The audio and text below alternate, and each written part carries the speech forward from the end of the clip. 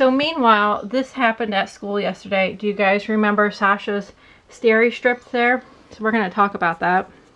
Hey guys, so this video is very hard for me to make.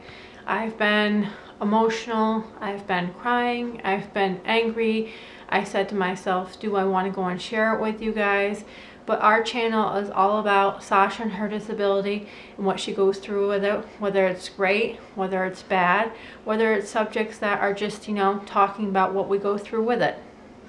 So this past Monday, we had a major situation with Sasha at school and she's actually been home with me since then.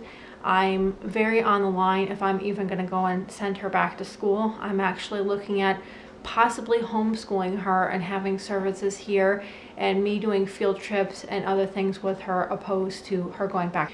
It takes a lot for me to get angry. Usually I am the person who is, please call me, please email me. I would love to come to school for my third meeting this week.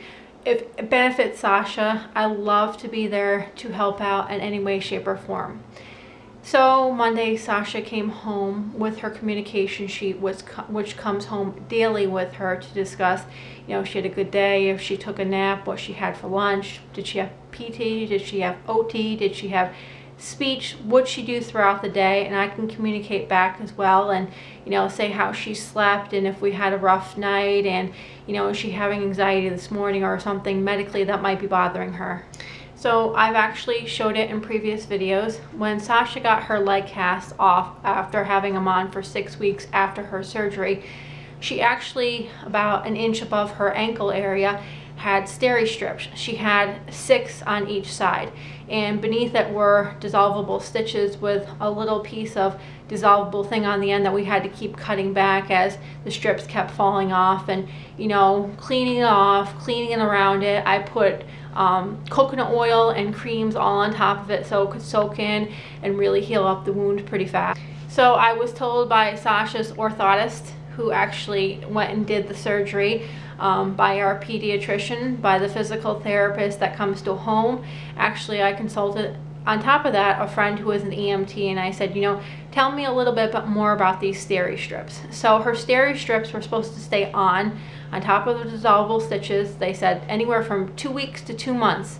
It all depends on the person. And they are supposed to fall off on their own little time. They're supposed to curl up and you're not supposed to take them off at all. Pick at them, take them off because Unfortunately, the incision beneath it and the dissolvable stitches could get ripped open with a wound, and that's what they're trying to avoid. And the only things that you look for is oozing or redness, but Sasha's top ones had actually started to fall off, and the rest of them had curled up to a really big point where I'm like, you know, they're gonna fall off soon enough. The physical therapist who comes to our home is like, they're looking so good, you know, probably within the next week or two that they'll fall off and you know, you can really start to clean the wound and I like to see it as it was because I could also see if things were going on underneath. So I got a note home Monday, as I said, and before I even saw Sasha physically, she went to go sit on my bed with her iPad and kind of desensitize. I got a note on her communication sheet from the physical therapist at school stating that she had the nurse come down and she had taken off all the steri strips with no permission, no phone call, no email, no contact of any such prior knowledge from me about whether this is something I wanted to do. Was I okay with it? And she just took them off. No reason stated, she just took them off. And on top of that, she put a gigantic king size band-aid as I showed you guys on top of it. So I couldn't even see if it was bleeding, how the wound was doing beneath it. So it's been a really rough week to say the least. and basically all the school can go and tell me is, you know, she's been talked to and this won't go and happen again and we'll have more open communication. I am livid as a parent. I would never go to her house and go and say, I cut your kid's hair without your permission and your consent.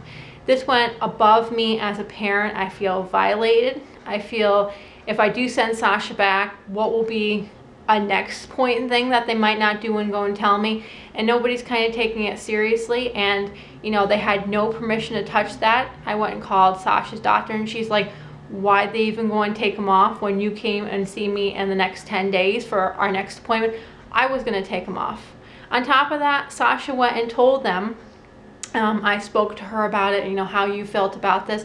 She said they told them many a times during the process of doing this that she didn't want to go and have him off. She wasn't supposed to have him off. And the doctor was only supposed to take him off and to please listen to her. And they just kept doing it. So I also feel it's a violation of Sasha. She's very vocal. I like her to talk about her feelings. And it seems nobody wanted to listen. So sorry for the small rant, but I like to share our life with you guys and what goes on daily with it. So tell me if you've had a situation like this at school and, you know, has your personal rights as a parent been violated? Have you been in school and something like this has happened? I'm always great to hear what you guys have had happen through experiences because I'm still all new to this and I don't know how I'm going to proceed. I really don't. I've talked to our advocate and I've talked to our lawyer and they basically said it was a medical procedure done to a minor without my consent, which is a really big deal when you're a special needs parent and you want to protect and love this child, make sure the best things happen. So I'll talk to you guys later and we'll hope for better days ahead.